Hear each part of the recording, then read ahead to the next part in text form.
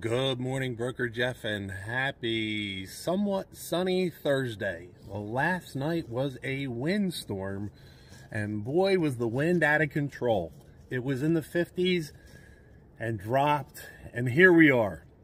So today, Thursday, they're calling for flurries, a high of 32 and a low of 20.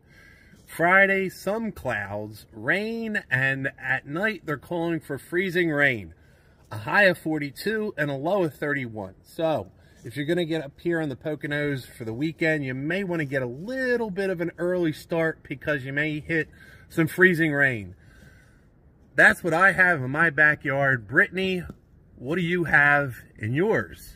Good morning, Agent Brittany here. This wind is still pretty wild right now. We had some power outages last night. There were some downed wires, some tree branches down, but thankfully everything is all fixed now. PP&L got out there real quick, so I hope everybody else in the area has got their power back on and is doing well also.